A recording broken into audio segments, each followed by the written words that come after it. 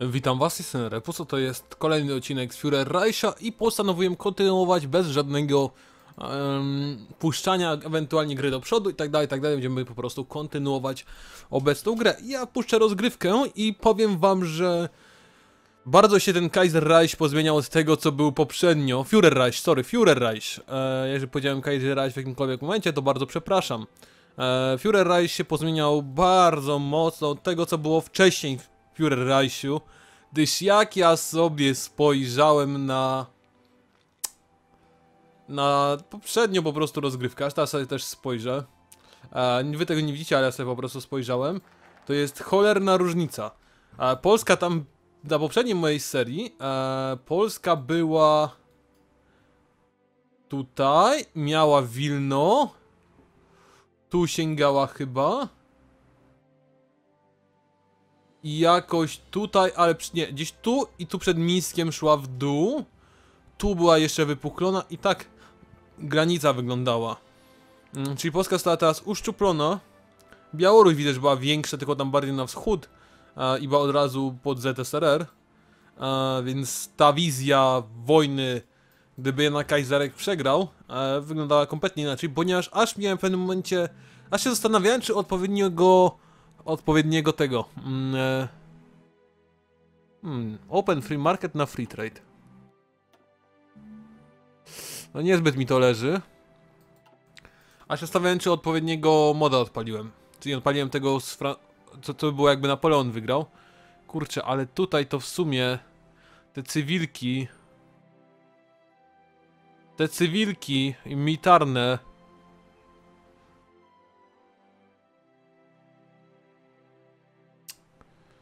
Social Democracy, PPS... O, mogę, mogę partię zmienić. PPS... Albo zosta- zostajemy przy social liberalizm. A PPS to jest. Czekajcie, to jest PPS.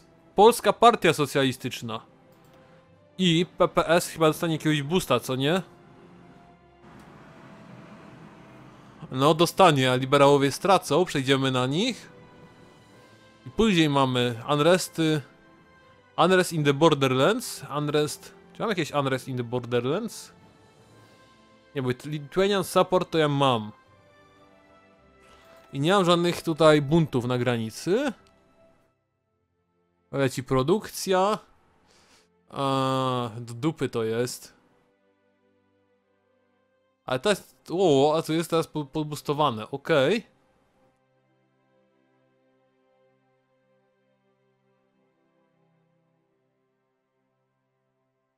Albo byśmy poszli w... e, Albo byśmy poszli w, w Vitosa. Który nie ma takich fajnych boostów ekonomicznych, ale jest bardziej stabilny jak na to patrzę. I zrobię to w jedyny słuszny, możliwy sposób ten wybór. A dokładnie rzucę monetą. Wy niestety tego nie zobaczycie, ale musicie mi zaufać na słowo. E, jak wyrzucę orła, to idziemy Witosa. Jak idziemy, jak wyrzucę resztkę, to idziemy w socjalistów. Chciałem się ogólnie chyba w socjalistów, ale muszę dwie miniaturki wtedy robić. Mm, nie, nie wiem jak miniaturkę w sumie zrobić w takim razie. E, to tak. Zobaczmy. Hyc. E, hyc i jest orzeł. Czyli lecimy Witosa. W takim razie centryzm idziemy bardziej. Ktoś może powiedzieć, że to jest, będzie wtedy zbyt podobne do tego, co było dotychczas, no ale shit begins, shit happens. Jak Lukas robi 10 r- delikatnie różnych Polsk z rzędu w Europie, to ja sobie mogę zrobić e, 10 delikatnie różnych Polsk w hoju z rzędu, więc w- więc róbmy. Eee, nie chcę tutaj zmniejszać oczywiście. O, mam head of government od razu, bo wcześniej nie miałem head of go- government, musiałbym się sam wybrać. Eee, patrzę sobie po ludziach, którzy byliby dobrzy. Niestety nie spojrzałem tutaj, co to w sumie daje? Military Construction Speed plus 10%. O, dem! Eee, political Power Gain mi zmniejsza, ale Infantry pro Product Cost, ale tylko 5%. Eee, bym poszedł w to, Albo w to. Eee... To mi zwiększa produkcję i boostuje te bronie. No dobrze, weź pójdźmy w to. E, tych panów jak patrzyłem, to patrzyłem sobie, ten, ten ziomek jest dobry, stabilność plus 10. Ten daje plus 5, ale te pozostałe, te lokale to są tak... Tak mało warte według mnie, tak nie, niekoniecznie. Bardziej te 5 stabilności się przyda. E, tutaj jest ten... Ten? Nie. Ten typo jest zarąbisty. Daje same bonusy, co rada nie tyle Consumer Goods Factories co tutaj, ale nie, nie zmniejsza tego, prędkości produkcji. E, pójdźmy sobie jeszcze w Construction Speed. W ropę nie ma co lecieć. W końcu mi się Trench Warfare w końcu zrobi, jak jakaś doktryna wojenna. Ta piątka już przeszkolona? Tak. W takim razie jedną dywizję, albo nie, przypiszmy 5 dywizji tutaj. Natomiast te pancerne, bo mam ich akurat 4, dajmy sobie do osobnej armii i dajmy sobie ich nawet sobie tutaj, do tego pana. E, on ma co prawda tylko kawal kawaleryjskie, nie ma koniecznie tych, ale w sumie, czekajcie, skoro mamy brygadę zmotoryzowaną, ale nie mamy natomiast zbadanych, więc musimy zbadać sobie, albo musimy ich wyjebać po prostu, wyjebę sobie tą zmotoryzowaną, a pancerna jak wygląda, jak jest ułożona, no też, no to musimy zbadać te ople jednak, albo, albo, Eee, nigdy z tego nie korzystałem tak na serio. Request License Production. Citroeny.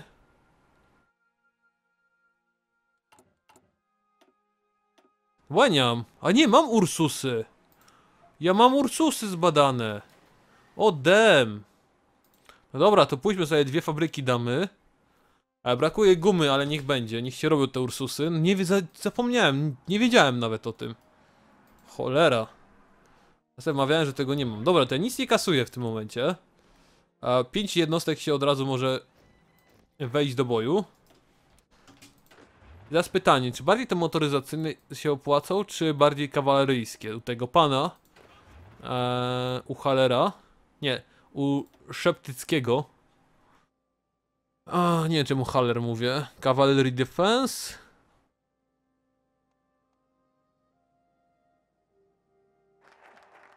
Ja bym poszedł jednak tutaj. O większa szansa, że prędzej zrobię motoryzacyjne niż zrobię kawalerię, chociaż jednego, jednego drugiego nie lubię zbytnio robić. Postaramy się również szlifę jak najszybciej wchłonąć. Nie jestem też pewien, ponieważ chyba 15, 15 august 1938 to był dzień ataku Niemiec na Polskę w poprzednim Führerreichu. Nie wiem, czy to się zmieniło, czy nie. Ale... Będzie trzeba się przekonać o tym na własnej skórze. W ogóle też tutaj była... Było państwo Zapadosławia, które się składało... Eee, czekajcie, czekajcie, insulinia... A, które się składa, miało tutaj Śląsk, tutaj, Brno, tutaj zahaczało, tu, tu, no i całą to Słowację. To było całkiem silne państwo nawet, liczące się. Insuldian Uprising. Eee, czyli ci Brytyjczycy muszą walczyć o, o to, żeby im się państwa nie pouwalniały. 11 do 12, 6 do 8. No i król Edward, a kto by inny miał rządzić? No bo jak sobie wyobrażacie inaczej, żeby król Edward nie rządził, no. Skoro w Kaiserku musiał uciekać do Kanady i rządził Kanadą, no to tutaj oczywiście rządzi Wielką Brytanią. I serio ci Hamburg Commune przypychają Duńczyków, że Duńczycy zaatakowali Hamburg Commune. Ani jednego, ani drugiego bym nie wspierał. Jesteśmy social li- liberals. A w sumie social by, byłoby lepsze. Cholera. No dobra, już kontynuujmy tą grę. A, chociaż myślę, czy nie wczytać rozgrywki, ale chyba jednak zostaniemy. O, rząd mi się automatycznie wybrał, widzę. Niekoniecznie ten, który chce. No, muszę go zmienić, jak cholera. A, tego pana, chcę, że mi się konstrukcja spowolniła. No i wybierzemy tego pana. Żeby mi Consumer Good Factories nie zżerało. One mają robić, mają produkować te, te e, militarne fabryki i ewentualne fortyfikacje. Zrobiłbym fortyfikację z granicą, e, na granicy z Niemcami nawet, mógł się o to pokusić, gdyby nie to, że raz są ode mnie o wiele silniejsi.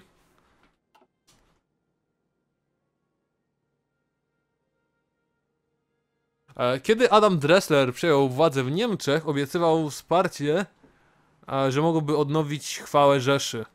E, To jest oczywiste teraz, że on chce zrobić za jakimkolwiek kosztem. Kiedy e, już był crash na London Market? Jeszcze nie.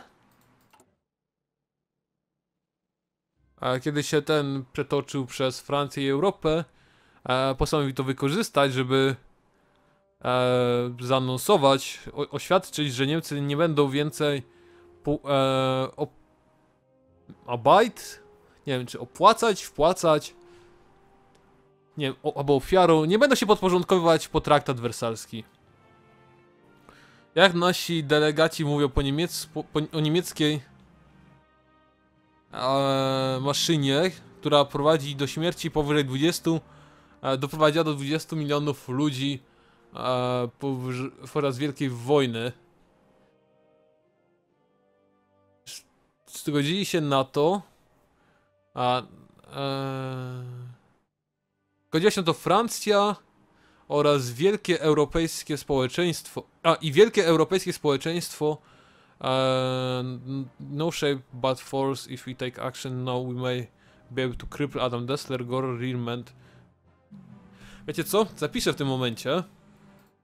Ponieważ ja nie wiem, bo ani jedno, ani jeden wybór, ani drugi wybór nie ma żadnego e, takiego natychmiastowego, natychmiastowej akcji, więc na razie e, uznam, że oni muszą być e, takiego beat slapa dostać muszą.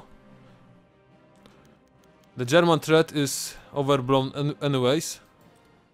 E, Ententa odrzuca sankcje na Niemcy, no to słabo.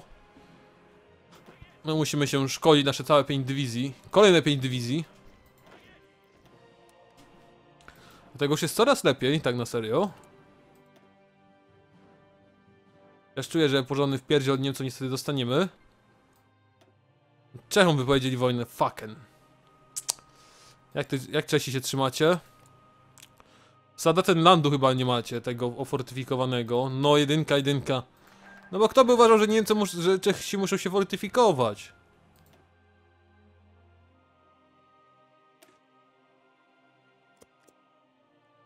Lecimy dalej w, ty, w tym naszym kierunku. Czy to już wszystko tak zbadane? No to możemy przestać. Znaczy przeszkolone. O, Czesi sobie nie poradzą po prostu i my teraz będziemy mieli większe zagrożenie od strony Niemiec. A jest dopiero 37. I wszyscy zignorowali atak Niemiec na Czechy. Smutne. I w ogóle Dutch State jest jeszcze. Holandia jest pod Niemcami. Pewnie jest według historii, pewnie oni sami zaproponowali Niemcom czy coś, bo nie wierzę, żeby RKM. Ole, jaki tutaj użarli. Te Czech- Czechy tak upośledzenie teraz wyglądają. Chociaż nie sądzę, że niby jakby według Uniwersum Kaiserka, jakby Niemcy dostały jednak w pierdzie, to raczej by uwolniły Holandię, tak mi się zdaje. Szczególnie jak Nadrenie oddały. A jak w ogóle bawi, bawi się Hiszpania? Monarchiści wygrywa, wygrywają z falangistami. No okej. Gratuluję. Tu nie ma żadnej prowincji typu... Jak się ta, jak się ta prowincja nazywała, co Polacy dostawali, jak Czesi byli rozbierani? Zapomniałem już. Ale nie ma chyba tej prowincji tutaj, tak patrzę. Została usunięta. Kolejne 5 dywizji, no. W przypadku takiego zagrożenia ze strony Niemiec, to trzeba się dozbrajać, i to mocno. Bym poszedł jeszcze w artylerię jedną fabrykę. Pomimo, że Wolframu nie mamy. Zaraz zaczniemy budowę fortyfikacji wokół centralnej części kraju. A to co tak długo idzie? No troszkę mu to zajmuje. Czy mogę sobie zwiększyć na... Nie mogę. Bym musiał być w stanie wojny.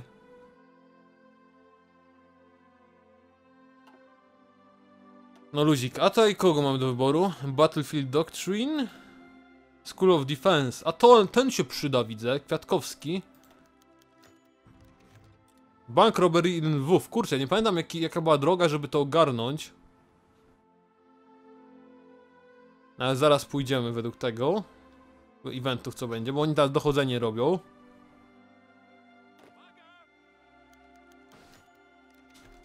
Oni wyparowali, no dobra, zaraz to ogarniemy. E, kogo by tutaj przypisać? General Max Army, ale tutaj mamy ziomka od piechoty, który daje defense 10%, co się na pewno przyda. I ambusher. Jednak pójdziemy w defensywę. Sikorski, który jest generałem, a nie marszałkiem. I Ryć Śmigły, którego już upgrade'owałem, no dobra. A political power, decisions. Coś ciekawego?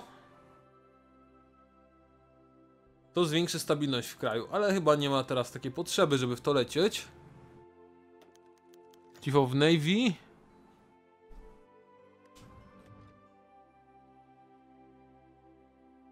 Aj, nie pamiętam, nie pamiętam jaka była ścieżka, czy w mieście, czy tutaj. Dobra, pójdźmy to na dole. Chief of Army, co to daje? Doktryna. Division Defense, same defense, defensy. A tu mi produkcję z infantry, land... Jakie to mam boosty w ogóle do tych defensów? Ziomku, więc to raczej chyba... W sumie dobrze, że może poszedłem tą doktrynę okopania się.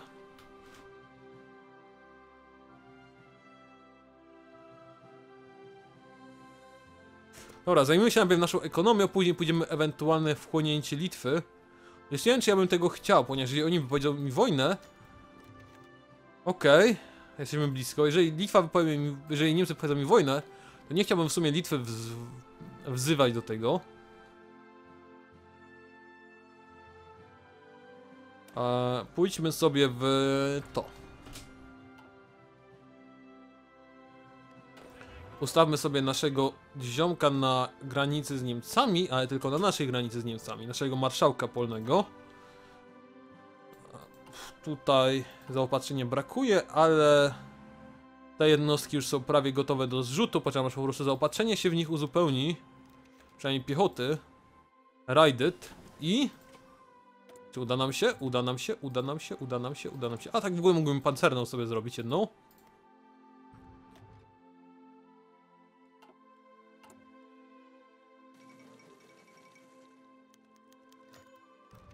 Wrong House. Zajebiście. Edward VIII kończy konsty konstytucjonalizm. Jakiejś takiej widocznej zmiany na dzień dobry nie widać, więc spluzik. Um... Landford plus 15.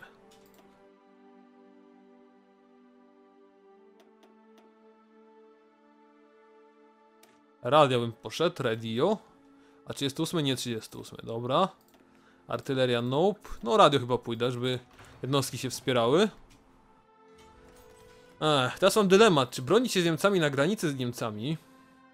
Ja nie wiem co to ZSRR odwalił, bo wcześniej ono mnie atakowało od tyłu. A teraz nie mamy nawet granicy. A wcześniej była granica ZSRR. Oni mają jednak sporo dywizji.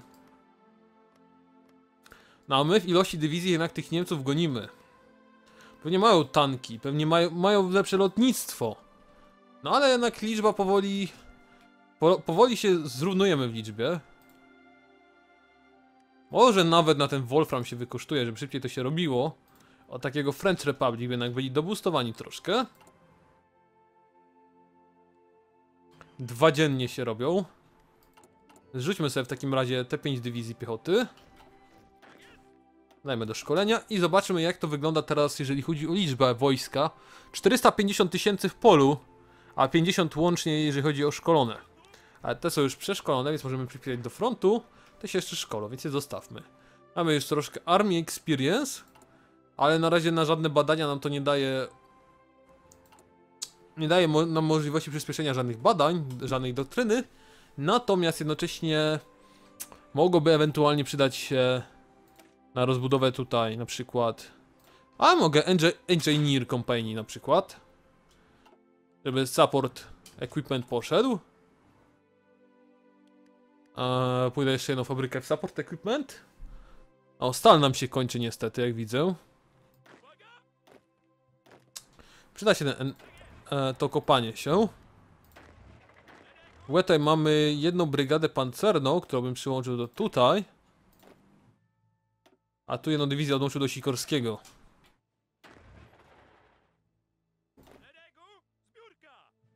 A dzięki temu będziemy lepiej okopani i rzeczywiście będziemy mieli szansę przytrzymać Niemców. No chyba, że Niemcy pójdą na Słowację, no to już aż takiej, takiego frontu nie ogarniemy. Chyba, żebyśmy byśmy odcięli gdzieś Słowację w tym miejscu.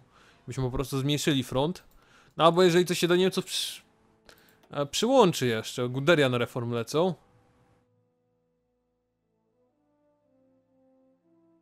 Kurt von Schleicher.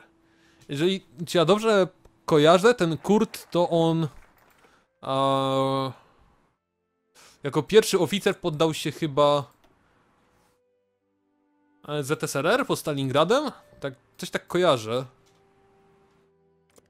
Tylko też nie pamiętam, czy to nie było tak, że. Kurt to chyba było nazwisko wtedy. Ale nie imię. Na, na ciekawej historii to oglądałem, taki fajny kanał historyczny, jeżeli ktoś go nie zna jakimś cudem. Ale bardzo polecam, tam był odcinek właśnie, tam Stalingrad, 5% niemieckich żołnierzy przeżyło tą bitwę. No i ogólnie ma zaj zajebiste odcinki. Problem taki, jeżeli chodzi o jego odcinki, na przykład odcinki historii bez cenzury, że ziomek z historii bez cenzury. O, socjaliści kontra Austriacy. Mhm, mhm, mhm. Czy wy nie chcielibyście wsparcia na przykład? Send Volunteers 1. Czy ja nie miałem celu wojennego, który zwiększał mi ilość wsparcia, które jestem w stanie wysłać? Albo może to było coś z polityki? A w ogóle w Foreign Policy mogę w końcu lecieć.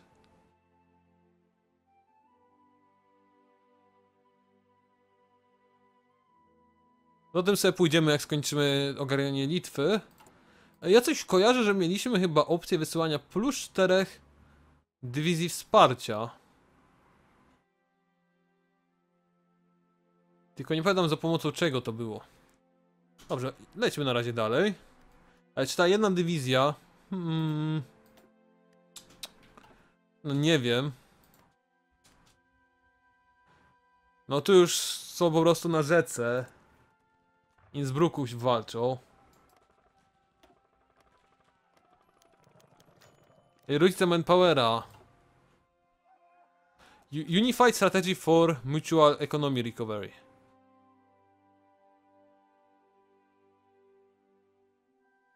Czy jest ten London Crash Market w ogóle? Nie no, my go nie mamy. Więc albo coś się zbagowało.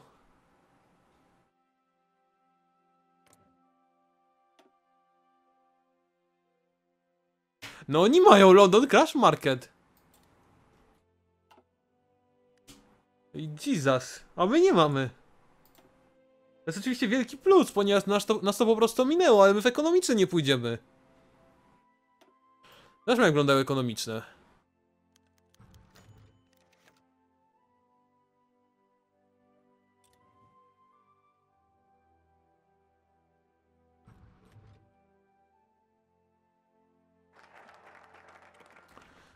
No to Warsaw University to jest najgorsze, że tego nie dostaniemy. Wchłonęliśmy? Nie wchłonęliśmy? Litwę? Nie wiem.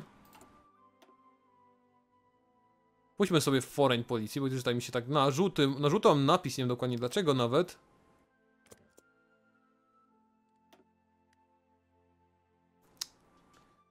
A my teraz forty budujemy. Dokładnie, ten ziomek miał przyspieszenie fortu. Tak, Land Construction Speed.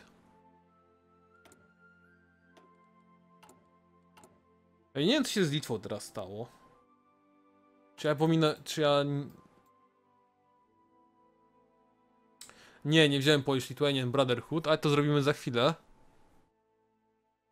Bo ja agri Agriculture najpierw poszedłem. Ale w sumie dobrze. Consumer Good Factories nam bardziej się przydadzą. I tak, jak tutaj się wybuduje to... To Bełten to ja mogę ominąć w sumie, olać na razie. Albo nie, bo z Bełten będą mogli tu pójść. Znaczy tak, ominąć tą prowincję i zrobić to tak. Mogę to ominąć i tą prowincję od razu rozbudować, na przykład.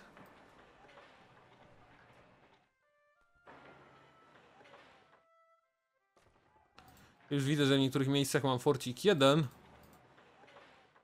No ale jak Litwę wchłonę... Ja też nie wiem, czy ja chcę je w sumie wchłaniać właśnie. Bo to jest sprawa również tego, czy my się utrzymamy przed Niemcami.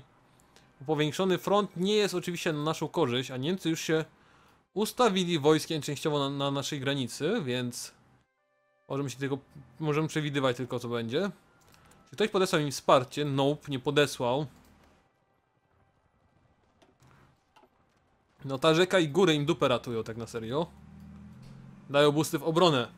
Ale myślę, że w tym momencie mogę skończyć ten odcinek. Mam nadzieję, że wam się spodobał, chociaż tak na serio zbyt wiele się nie działo. Ale co ciekawe, ominęliśmy London Crash Market. Jakimś cudem, nie wiem czy bugiem, czy po prostu takie decyzje obraliśmy, że nas to ominęło? Uhuhuhuhuhuhu. Russian Republic wypowiedział wojnę Soviet Union. Russian Republic to raczej na pewno przegra. Chyba, że Japonia się dołączy tak na serio, bo tam gwarantują niepodległość. Ale to Rosjanie chyba podzieli wojnę. A to w takim razie my się widzimy już jutro. Mam nadzieję, Wam się spodobał po- odcinek, mimo że wiele się nie działo. Do zobaczenia. Na razie, cześć, pa.